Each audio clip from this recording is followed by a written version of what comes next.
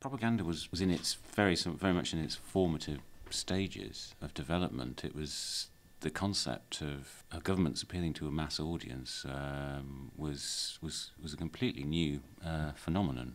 Certainly, at the beginning of the war, there was a it was a bit amateurish, uh, a bit piecemeal, and it was particularly so in the uh, the early recruitment campaigns and things like that. It wasn't it wasn't entirely successful. It did rely on on the inherent patriotism of the British public.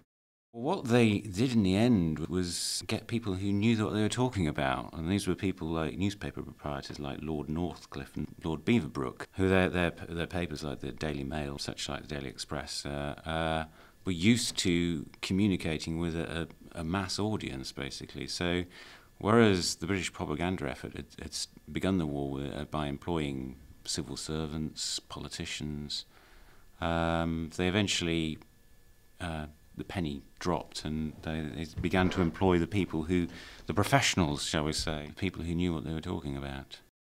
Amongst countries like Canada and Australia and New Zealand and other countries in the empire, there was a, a real sort of belief in the empire in, in Britain as you know, as as a, as a nation, as as a society, as kind of figurehead, um, and they were, you know, they were mo- motivated out of a sense of loyalty. The, the, war was also being presented as, as a, a, conflict, a fight for basic freedoms, and uh, and the threat of, of militarism and despotism that was that, that was Germany, basically. So there was there was a sense that, that there was there was certain beliefs, ideals, hard-won freedoms were were, were at stake, um, not just you know, not just in, in Europe, but across the world. This this was felt that, that there was a, a real threat to internationally to to to uh, to freedom and and, uh, and democracy and things like that. So they, so they joined up because of that. So there was you know there was a sense of loyalty to to the crown to the empire, but also there was this feeling that that there were certain you know freedoms that were at stake. Conscription was introduced at the end of 1915, the beginning of 1916, basically because the war had had, had continued uh, for much longer than anyone had anticipated.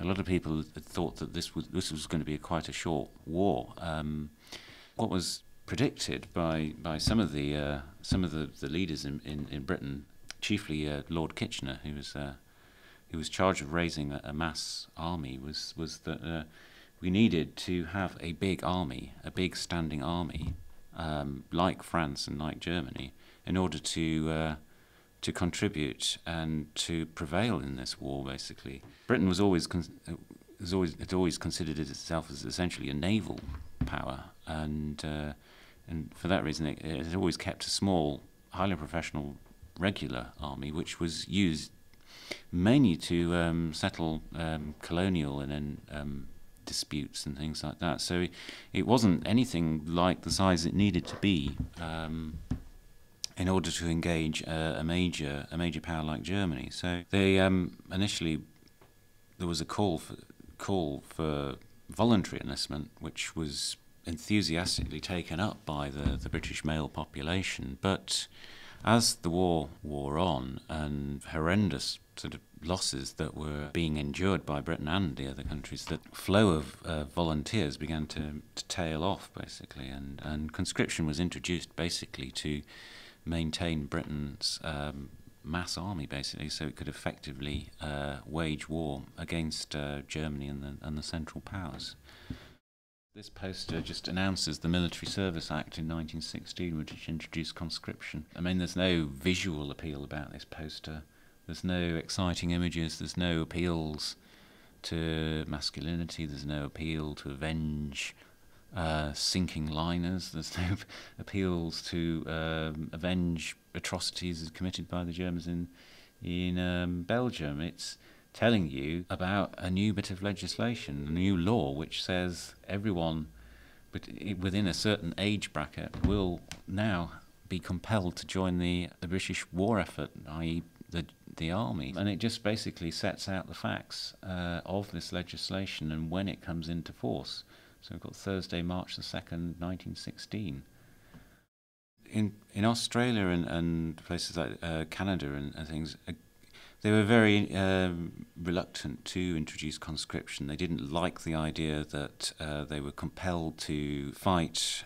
So um, the countries that did introduce it, like Canada, did introduce it very late on in the war, and some never did at all. It seemed to go against, you know, a notion of of, of you know freedom of choice and so um, yeah, it was it was uh, very unpopular, remained uh, unpopular right throughout throughout the war, and uh, particularly during elections and at the end of the war and things that that the ending of conscription was was considered a vote winner. Basically, that it was so unpopular that it, it was considered as, as something that would win votes and uh, would be popular amongst the population.